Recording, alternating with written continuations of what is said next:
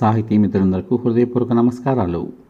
మాస్టారి కథలు ఇన్ తెలుగు ఛానల్కు మీ అందరికీ శుభస్వాగతం కథా సాహిత్యంలో భాగంగా ఈరోజు మీ ముందుకు తీసుకొస్తున్న కథ సీనియర్ రచయిత వాణిశ్రీ కలం పేరుతో శ్రీ సిహెచ్ శివరామ ప్రసాద్ గారు రచించిన అల్లుడొచ్చాడు కథ మీకోసం.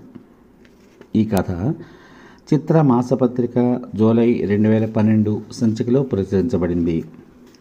అల్లుడు వచ్చి ఏ హడావిడి చేశాడు.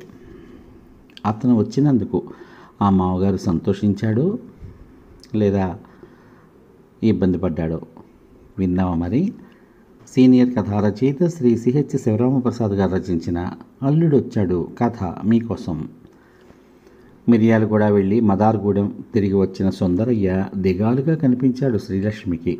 అప్పటికి చీకటి పడింది స్నానానికి నీళ్ళు తోడింది. నీళ్ళు తోడాను పోసుకోవయ్యా అన్నది. అతను పరధ్యానంలో వినిపించుకోలేదు. రెండు మూడు సార్లు చెప్పాక కానీ లేవలేదు. స్నానం చేసి వెళ్ళి డాబా మీద మంచం వేసుకుని పడుకుని ఆకాశంలో చుక్కలు చూస్తున్నాడు. ఇంటి చుట్టూ ఎదిగిన కొబ్బరి చెట్లు తలలూపుతున్నాయి. చల్లటి గాలికి కళ్ళు మూతలు పడ్డాయి. ఏందయ్యా అట్టా ఉండవు? అన్నది శ్రీలక్ష్మి మంచం మీద అతని పక్కనే కూర్చుని. ఏం లేదు లేవే అన్నాడు సుందరయ్య కళ్ళు తెరిచి. భర్త ఏదో విషయమై మదన పడుతున్నాడని ఆమె గ్రహించింది. పెళ్ళైన కొత్తలోనే అతని మనస్తత్వం ఆమెకు అర్థమైంది. ఏదైనా సమస్య ఎదురైతే ఇక స్థిమితంగా ఉండలేడు. అది తీరేదాకా మదన పడుతూనే ఉంటాడు. కంగారు ఎక్కువ. పొలంలో నాటడానికి తెల్లారగానే వస్తామన్న కూలీలు రాకపోతే ఇక కాలుగాలిన పిల్లలు అటు ఇటు తిరుగుతూ ఉంటాడు. వాళ్ళు వచ్చే వరకు కంగారుగానే ఉంటాడు. ఎరువులు దొరక్కపోయినా అంతే. మిరియాలగూడలో దొరకపోతే కోదాడో హుజూర్ నగరో పోతాడు. అక్కడి నుంచి మోసుకొస్తాడు. నాట్లేసి కలుపు తీసి కోర్తలు అయ్యేంతవరకు నిద్రపోడు. అమ్మి డబ్బు తెచ్చేంతవరకు అంతే. ఏం లేకపోవడం ఏందయ్యా? వచ్చిన దగ్గర నుంచి చూస్తున్నాను. అదో రకంగా ఉన్నావు. ఏందో చెప్పరాదా? అని రెట్టించింది శ్రీలక్ష్మి. ఏముంది? సంక్రాంతి దగ్గరకు వచ్చిందా చేతికి డబ్బు రాలేదు. అనంతరాములు సేటు ధాన్యం ఇప్పుడు కొనేవాడెవడు లేడని చెప్పాడు. తొందర పెడితే అసలు కూడా రాదన్నాడు. చెప్పాడు సుందరయ్య. సర్లే దానికేంది అంత ఇది? పండక్కి అల్లుడు వస్తాడా వస్తే ఏంది? బట్టలు పెట్టి పంపిస్తాం. దానికే పెద్ద ఇదైపోతున్నావే. నీలకంఠం బట్టల కొట్టులో బట్టలు ఇరా బట్టల గురించి కాదే పిచ్చి మహమా? పెళ్ళప్పుడు స్కూటర్ అడిగితే సంక్రాంతికి కొనిస్తామని చెప్పామా లేదా? చెప్తే చెప్పానులే. డబ్బు సర్దుబాటు కాకపోతే చేసేదేంది? వెయ్యా రెండు వేల నలభై వేలు పెడితే కానీ కొత్త బండి రాదు. ఈ పండగకి కాకపోతే వచ్చే పండగకి పెడతాం. ఉగాది రాదా దసరా రాదా? అనునయించింది శ్రీలక్ష్మి. అని మూలిగాడు సుందరయ్య. అల్లుడికి నేను సర్ది చెప్తాలే. నువ్వేం ఇదే మాకు? దాని గురించి పద అన్నం తిందువు గాని అన్నది శ్రీలక్ష్మి. సుందరయ్య లేచి ఆమె వెనకే కిందకి దిగాడు. శ్రీనివాసరావు కళ్యాణి హైదరాబాద్ నుంచి మిర్యాలగూడ వరకు రైల్లో వచ్చారు. మిర్యాలగూడ నుంచి మదార్ గూడెం ఆటోలో దిగారు. కళ్యాణి కొంచెం ఒళ్ళు చేసింది. ఆమె ముఖం కొత్త కాంతితో కళకళలాడుతోంది. వయసు తెచ్చిన సొగసు భర్తతో సాన్నిహిత్యం అదీగాక సిటీలో నేట పట్టున ఉండడం వలన రంగు తేలింది. శ్రీలక్ష్మి కూతుర్ని తృప్తిగా చూసుకుంది. ఆమెకు కడుపు నిండినట్లుగా ఉంది. పెళ్ళై కాపురానికి వెళ్తున్న కూతుర్ని చూసి అప్పుడు భయపడింది ఆమె. పల్లెటూళ్ళలో పుట్టి పెరిగిన పిల్ల హైదరాబాద్లో ఎట్టా ఉంటుందో ఏంటో? అత్తగారు ఎటువంటిదో? అల్లుడు సరిగా చూసుకుంటాడో లేదోనని దిగులు పడింది. కూతుర్ని చూడగానే ఆమె భయం పటాపంచలైంది. బాగున్నావా బాబు? అని అల్లుడిని పలకరించింది. బాగున్నానండి మీరు ఎలా ఉన్నారు? పంటలు ఎలా ఉన్నాయి? అంటూ పరామర్శించాడు. అంతా బాగానే ఉంది బాబు. ప్రయాణం బాగా సాగిందా? మీ అమ్మ నాన్న బాగున్నారా? మీ తమ్ముడు బాగా చదువుతున్నాడా? అని కుశల ప్రశ్నలు వేసింది. సుందరయ్య మాత్రం అల్లుడికి దూర దూరంగా మసలుకోసాగాడు. అల్లుడు స్కూటర్ సంగతి ఎత్తుతాడేమో. ఏం చెప్పాలి? అని మదనపడసాగాడు. వీలైనంత వరకు అల్లుడి కంటపడకుండా తప్పించుకుని తిరగసాగాడు. సుందరయ్య కొడుకు శేషగిరి అక్కని బావని మిరియాలు కూడా తీసుకెళ్ళి సినిమాలకు షికార్లకు తిప్పసాగాడు. శ్రీలక్ష్మి గార్లు ఊర్లు వండుతూ తీరిక లేకుండా ఉంది. సంక్రాంతి పండుగ సరదాగా గడిచిపోయింది. మరునాడు కడుము పండుగ. శ్రీనివాసరావు స్నానం చేసి టిఫిన్ చేస్తూ ఉండగా శేషగిరి హడావిడిగా వచ్చాడు. బావా బట్టలేసుకో బయటికి వెళ్దాం అన్నాడు. ఎక్కడికో అయి పొద్దున్నే అని అడిగాడు శ్రీనివాసరావు. పండగ స్పెషల్ చూపిస్తాను అన్నాడు. ఏమిటో అన్నాడు శ్రీనివాసరావు. నాకు తెలిసింది లేరా అన్నది కళ్యాణి నవ్వుతూ. అక్క నువ్వు చెప్పొద్దు అన్నాడు శేషగిరి తల అడ్డంగా ఊపుతూ. సర్లే పద. ఏం స్పెషల్ చూపిస్తావో మీ ఊళ్ళో. అని నవ్వుతూ బామ్మర్తి వెంట నడిచాడు శ్రీనివాసరావు. ఇద్దరు బయలుదేరారు. సబ్కెనాల్ గట్టు మీదుగా నడుస్తున్నారు. దాదాపు రెండు కిలోమీటర్లు నడిచారు.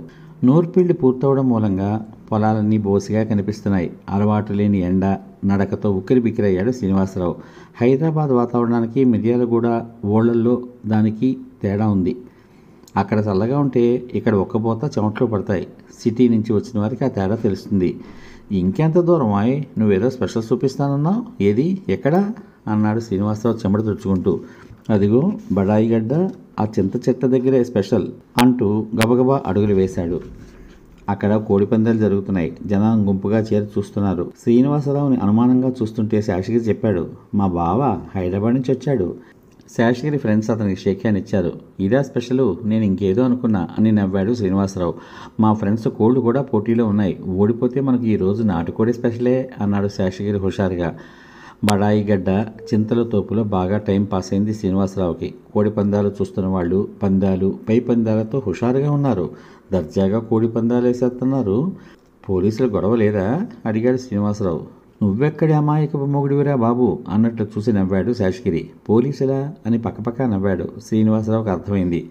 మేనేజ్ చేస్తారన్నమాట అన్నాడు. ఇదేం సిటీ కాదు. లాఠీలు ఊపుకుంటూ రావడానికి పోలీసులు రారు. మా సర్పంచి హోమ్ మినిస్టర్కి ఫోన్ చేస్తాడు అన్నాడు శేషగిరి గర్వంగా. అబ్బో! అన్నాడు శ్రీనివాసరావు నవ్వుతూ.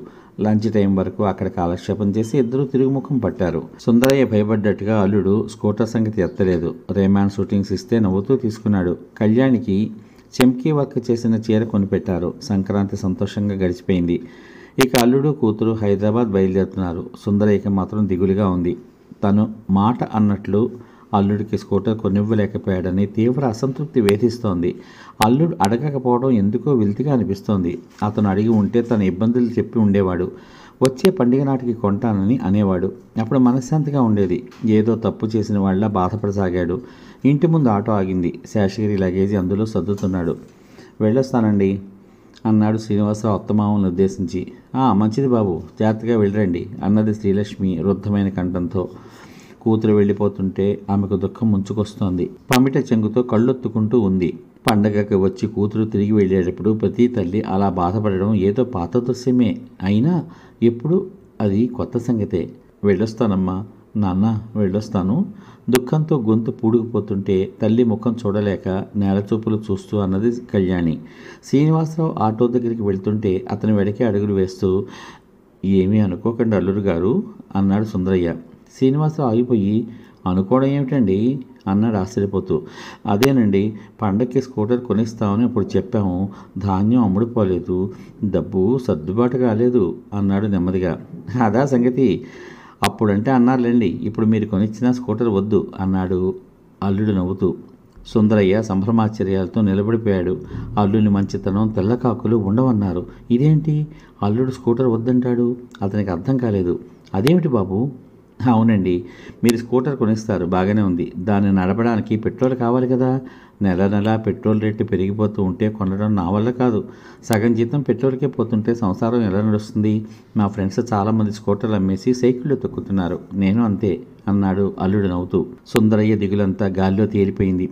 అల్లుడి మంచితనానికి అదన్నమాట కారణం. దేవుడా నెల నెలా పెట్రోల్ ధరలు పెంచుతూ ఉండు దేశంలో అల్లుళ్ళంతా మంచివాళ్ళైపోతారు అని మొక్కుకున్నాడు సుందరయ్య అమాయకంగా.